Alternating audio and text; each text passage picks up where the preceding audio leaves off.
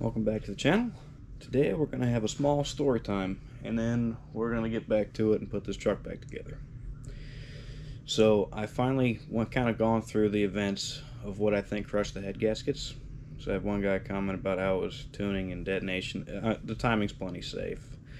Um, higher compression, pump gas, and boost. Uh, of course, you're going to have problems. That's just part of it. Uh, some things you're not going to tune out of. You just got to turn the boost down, and I'm unwilling to do that. But I think I figured out what happened, why it crushed it. So excessive heat will crush the head gasket. Everything expands and everything gets hot as hell. The head gasket is a spring, compressed, uncompressed. It should spring back if you ever take it off and it is the same compressed thickness without it being bolted down, then it got too damn hot. Something crushed it. It being blown out the side, that's detonation. Or maybe it not having enough actual bite anymore because it's crushed.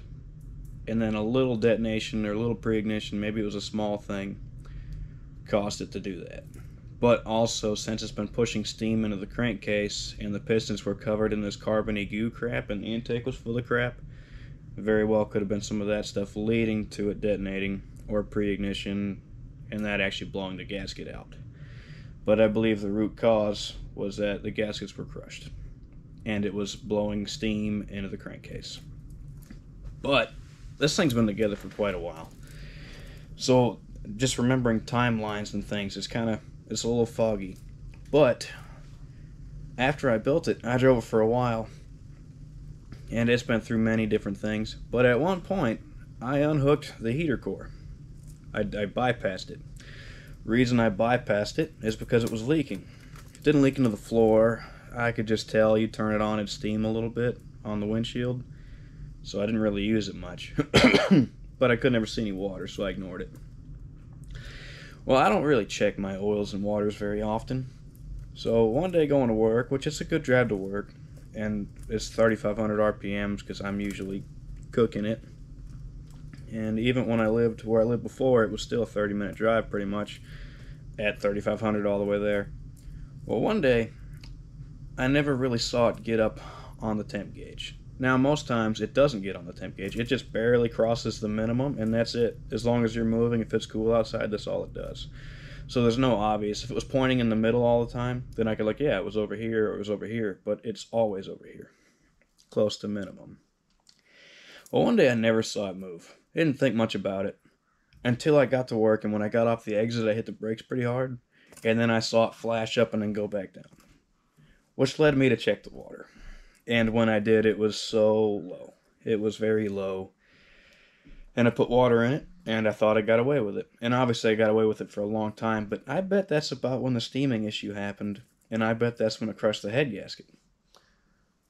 So I don't really think we're going to have a problem from here out. We will once we start increasing the boost, and we'll get into pre-ignition. We're going to get into all those things and the aluminum heads will definitely solve some of that. More flow, less compression, and aluminum.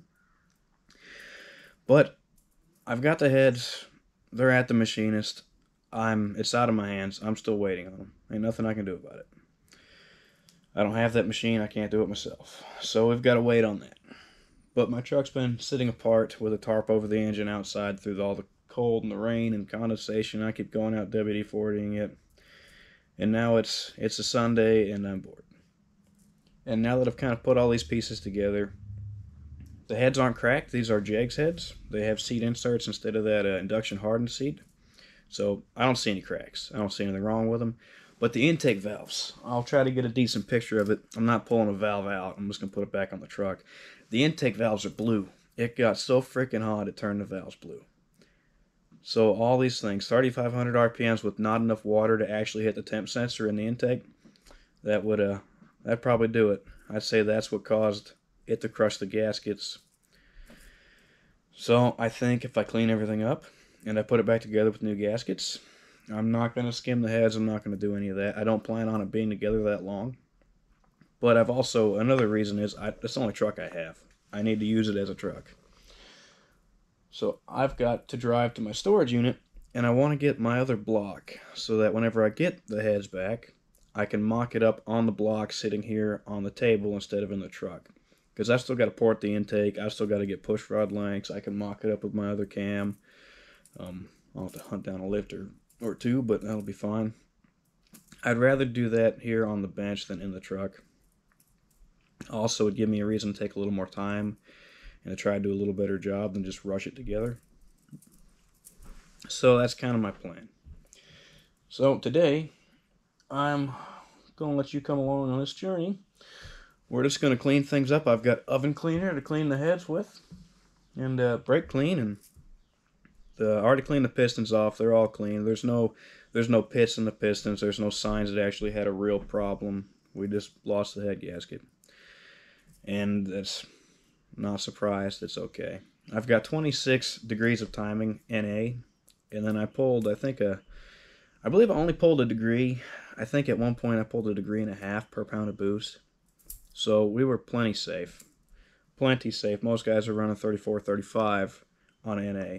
But if you watch the cam video on the dyno, 26 degrees was fine. We might even want 28. Uh, 28 was a couple horsepower. I'm sure 30 was probably one or two. And you might one or two degrees up to gaining 15 horse, maybe. But to me, that margin of safety having less timing rather than have that 15 horse, that's more important. The way I see it. I had, with the Honda map sensor, it maxes out at 11, 12 psi. That's where its max is. And I had it at 14 degrees. So that's, you know, that should be fine. Should be. Maybe it wasn't. But once I got the heads off and saw what the pistons looked like with the carbon and the goo on it, it was like a 16th inch thick paste of carbon. It was gross. The intake track's full of it. But now that we know that it's been steaming through the crankcase, and when it had, that's why I had the PCV, have the catch can, it was sucking all that crap back through the intake besides what was getting past rings and stuff. So that's why I do not like having the, the, the crankcase ventilation, the PCV valve hooked up. I don't like that. If everything's perfect, yeah, you're fine. But you don't need to be sucking in oil in something that you're pushing this close to the edge. So that could very well be what caused our pre-ignition and our issues. But anyway, um, uh, Tim will get done with the heads whenever he gets done, and I'm just trying to make sure I do a little better job to not rush through it. And I need to use my truck, so we're hopefully nothing else is wrong. And there's, I didn't see any cracks in cylinder bores or anything. I could see the one cylinder that was leaking coolant. The intake, it was just clean it was a very clean cylinder, and I can almost see where it went from the coolant passage into the head gasket. So I think with the cleanup, we'll be fine. Anyway, I'm just going to get to it, and hopefully by 4 o'clock or so, we'll address some issues. I'm going to modify the dual plane a little bit.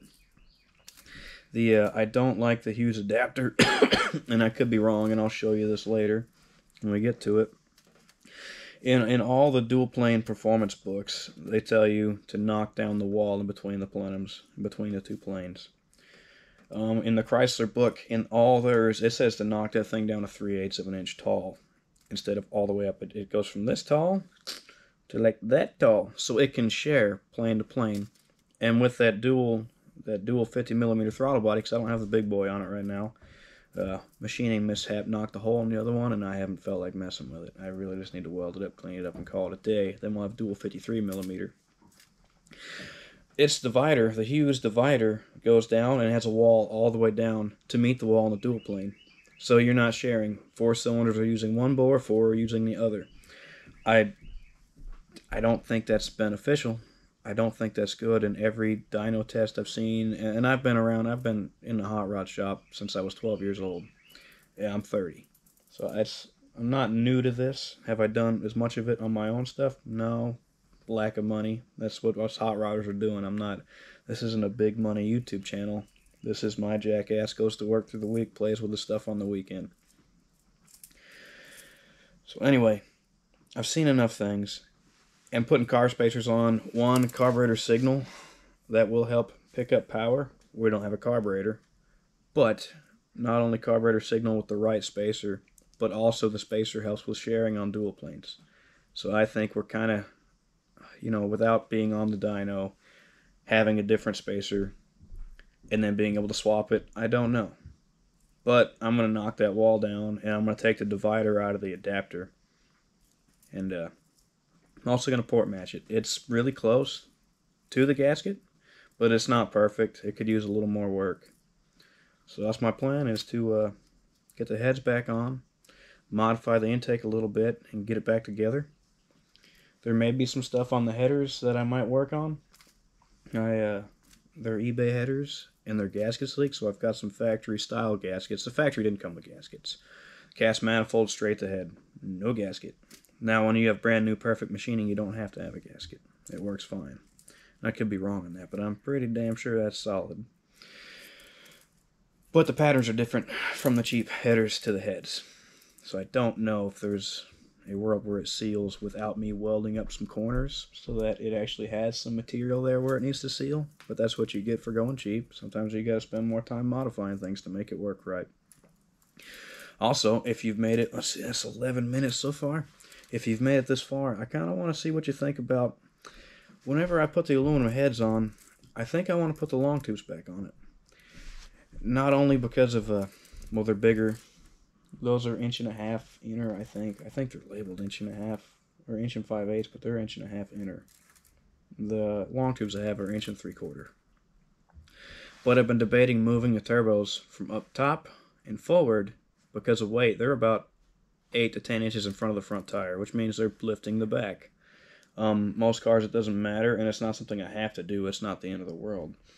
But I'd kind of thought about using the long tubes and putting the turbos under the truck. I don't have to run a scavenge pump and do some other things. But I kind of like the idea of moving that weight back. And it will make it easier and harder to work on. Because right now, pulling the trans, I drop the two down pipes, the trans drops right out. I start putting turbos back there, we got more work to do. But then on the top side, it's easier to work on. So it, it, I don't know if it balances out, but I'm contemplating doing that, and I may.